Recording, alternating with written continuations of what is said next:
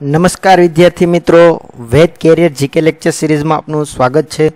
મિત્રો, આજે આપણે ગુજરાતી વ્યાકરણમાં છંદ જોવાના છીએ અને આ છંદમાં મહત્વનો છંદ ઇન્દ્રવંશા છંદ જોવાના છે મિત્રો, આગળ આપણે એક ઇન્દ્રવ્રજા નામનો છંદ જોઈ ગયા છીએ.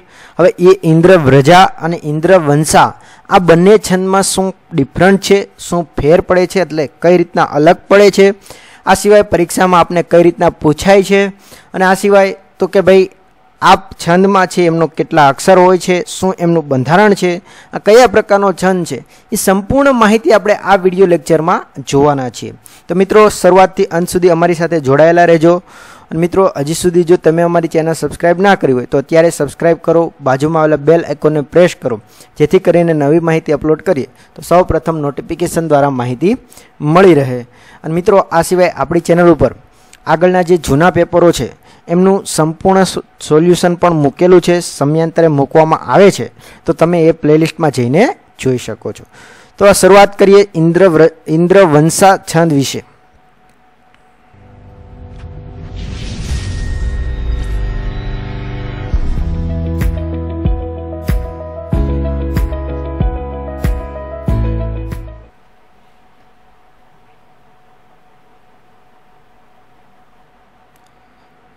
તો જોઈએ મિત્રો ઇન્દ્રવંશા છંદ છે. એ કયા પ્રકારનો છંદ છે?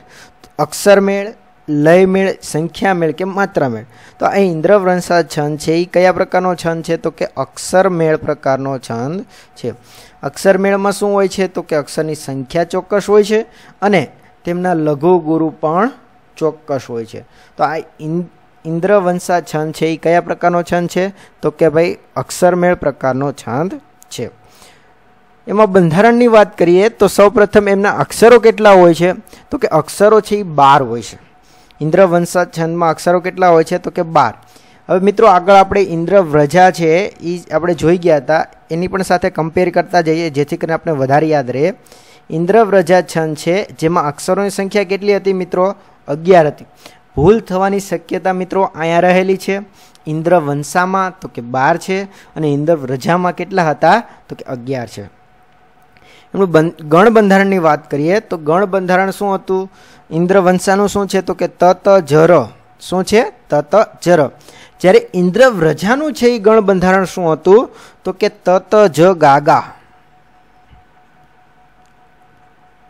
મિત્રો, અહીંયા બંનેનો ડિફરન્ટ સમજો શું બંનેમાં અલગ પડે છે. તો કે ભાઈ, ઇન્દ્રવ્રજામાં અક્ષર કેટલા હતા? અગિયાર. અને ઇન્દ્રવંશામાં કેટલા છે? તો કે બાર.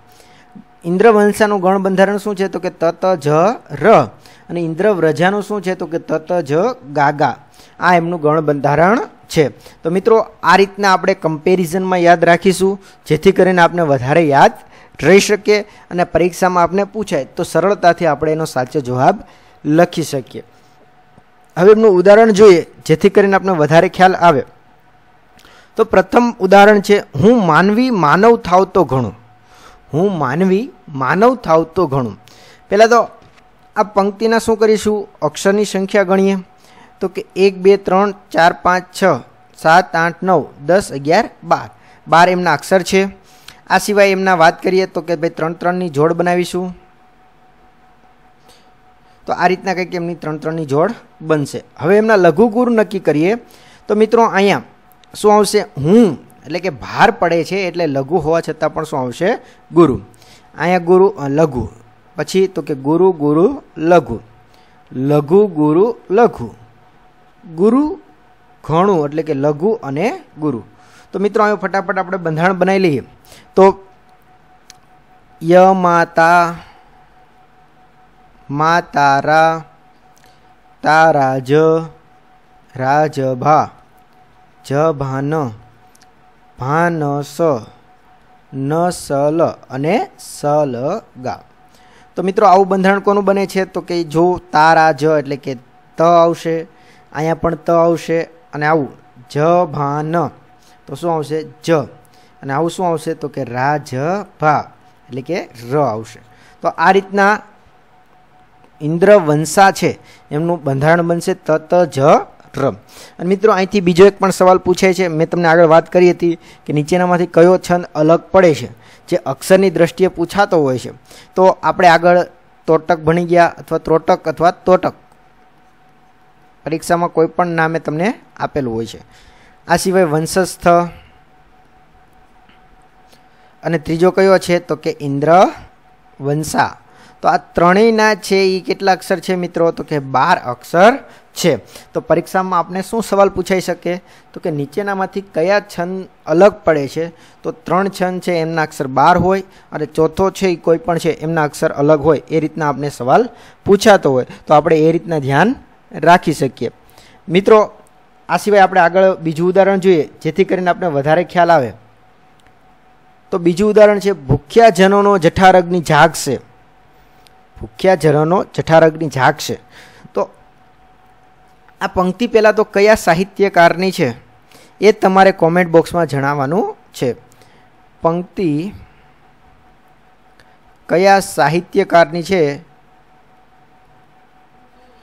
તે તમારે કોમેન્ટ બોક્સમાં જણાવવાનું છે. ભૂખા, ભૂખ્યા જનોનો જઠારગ્નિ જાગશે. હવે જોઈએ પંક્તિના અક્ષર જોઈએ તો કે એક, બે, ત્રણ, ચાર, પાંચ, છ, સાત, આઠ, નવ દસ, અગિયાર, બાર. બાર અક્ષર છે, ત્રણ ત્રણની જોડ બનાવીએ. મિત્રો, આ રીતના કંઈક ત્રણ ત્રણની જોડ બનશે. અહીંયા નહીં આવે, મિત્રો. અહીંયા બનશે. તો આ રીતના આપણો એક, બે, ત્રણ. ત્રણ ત્રણની જોડ બનશે. હવે એમના લઘુ ગુરુ નક્કી કરીએ. તો કે ભાઈ, ગુરુ ગુરુ, લઘુ.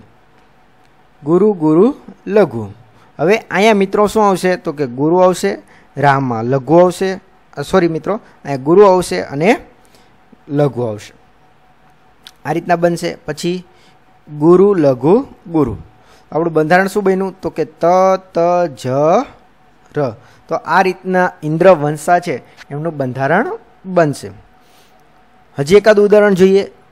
તો કે ભાઈ આગળ જે પંક્તિ જોઈ, એની જ આ બીજી પંક્તિ છે. તો કે ભૂખ્યા ભૂખ્યા જનોનો જઠારગની જાગશે. ખંડેરની ભસ્મકણીની ન લાદશે. આખી પંક્તિ છે, સાથે જ છે, પણ આપણે અલગ અલગ કરીને લીધેલી છે, જેથી કરીને આપણે વધારે ખ્યાલ આવે. તો જોઈએ સૌપ્રથમ અક્ષર ગણી લઈએ. તો કે એક, બે, ત્રણ, ચાર, પાંચ, છ, સાત, આઠ, નવ, દસ, અગિયાર, બાર. ત્રણ, ત્રણની જોડ બનાવીએ. તો આ રીતના કંઈક ત્રણ, ત્રણની જોડ બનશે. હવે એમના લઘુગુરુ નક્કી કરીએ. તો અહીંયા ખંડે છે. ખ ઉપર તીવ્ર અનુસ્વાર આવેલો છે. એટલે લઘુ હોય તો પણ શું બનશે? ગુરુ. ગુરુ ગુરુ, લઘુ. ગુરુ ભસ્મક. જો મિત્રો, અહીંયા ધ્યાન રાખજો, અહીંયા સામાન્ય લઘુ છે. પણ ભસ, ભ ઉપર સનો છે, એ ઉચ્ચારણમાં ભાર પડે છે. એટલે લઘુ હોવા છતાં પણ શું બનશે? ગુરુ બનશે. અને મમાં આવશે લઘુ. મિત્રો, નિયમ. જો તમને છંદ તમારે સરળતાથી શીખવા હોય, તો તમને નિયમ છે એ યાદ હોવા જોઈએ. અને મિત્રો, આપણે સંપૂર્ણ નિયમો છે એને વ્યવસ્થિત આપણે જોયેલા છે અને આપણે આગળના ભાગોમાં જોયેલા છે. એ તમે ના જોયા હોય તો ભાગ તમે પ્લેલિસ્ટમાં જઈને જોઈ શકો છો ગુજરાતી વ્યાકરણમાં.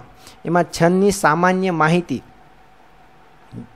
છંદની સામાન્ય માહિતી. જેમાં ભાગ એક અને બે. આમાં આપણે સંપૂર્ણ છંદની સામાન્ય માહિતીની ઉલ્લેખ કરેલો છે. એ તમે હજી સુધી ના જોયો તો અત્યારે તમે પ્લેલિસ્ટમાં જઈને જોઈ શકો છો. તો આ રીતના ખંડેરમાં આવશે અને ભસ્મ તેમાં લઘુ હોવા છતાં પણ શું આવશે? ગુરુ. કારણ તો કે જોડાક્ષરનો ભાર આગળના અક્ષર ઉપર પડે છે. પછી કણીમાં આવશે, શું આવશે? તો કે લઘુ, ગુરુ, લઘુ. અને પાછળ તો કે ગુરુ, લઘુ, ગુરુ. તો જોઈએ આવું કોણ આવશે? ત ત, જ, ર. તો શું બંધારણ બનશે? તત જર તો આ રીતના ઇન્દ્રવંશા છંદ છે. એમાં કેટલા અક્ષર હોય છે? તો કે બાર અક્ષર હોય છે. એમના ગણ બંધારણ શું હોય છે? તત જ, ર એમનું ગણ બંધારણ હોય છે. જ્યારે ઇન્દ્રવ્રજા હોય છે, તો ઇન્દ્રવ્રજામાં અક્ષર કેટલા હોય છે? અગિયાર હોય છે. અને એમનું ગણ બંધારણ શું હોય છે?